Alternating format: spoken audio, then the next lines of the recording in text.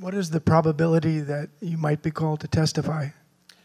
I, I think uh, close to zero. Um, uh, I, I expect that that uh, my name will be invoked by the defense. I think one of the their lines of defense will be that this rabid Wall Street Journal reporter influenced regulators into uh, cracking down on, on Theranos in, in, a way that they might otherwise not have. Um, but I think the, the prosecution, uh, for its part, is going to uh, rely on its own independent investigation and, and uh, uh, show to the jury the results of its own investigation. And so I don't expect the, the prosecution to uh, rely on me as a witness. They're going to rely on, I mean, some of the, the sources that I used uh, in, in my reporting for the journal and in the book uh, ended up being interviewed later by uh, federal prosecutors and FBI agents, and some of them, like Alan Beam, will be witnesses at trial. Um, the the way the other way in which the the book may come up is I expect every prospective juror to be asked whether they read the book and uh, anyone uh, who says that they, they did will, will be uh, eliminated from the jury pool by the defense. Yes?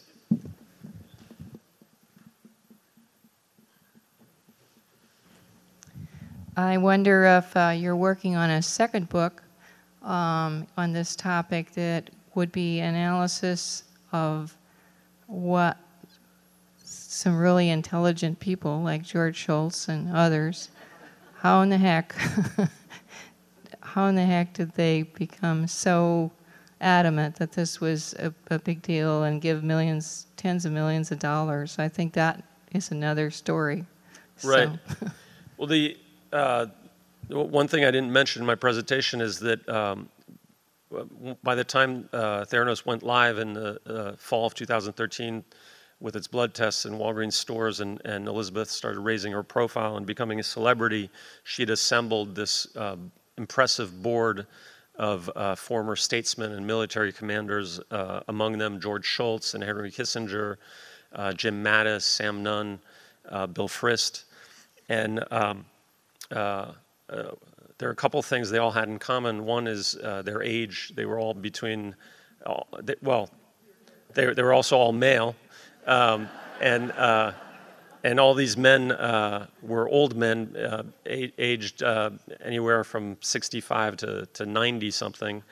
Um, and the third thing they had in, in common is uh, they, they didn't uh, have any expertise whatsoever in medicine or blood diagnostics.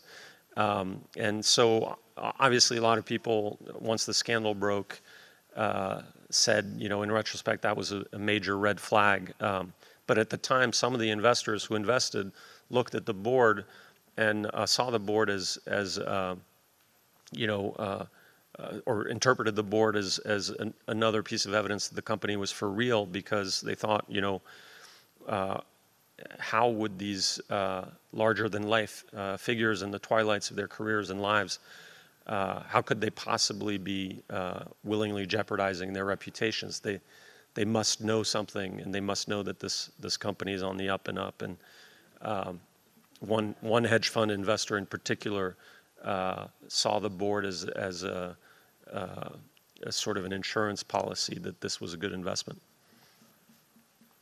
But, but just to finish answering your question about the board, um, I came to the conclusion in my reporting that uh, they did not know what Elizabeth and Sunny were doing. Uh, they weren't privy to the shenanigans, to the hacking of the Siemens machines to the fact that the technology didn't work. Um, you know, they really were sleeping at the wheel. In fact, uh, there literally were moments during board meetings when George Shultz and Henry Kissinger, who were in their mid 90s, would fall asleep. Um, and, and it wasn't really a, a real board uh, because Elizabeth controlled 99.7% of the voting rights and the board couldn't even reach a quorum without her.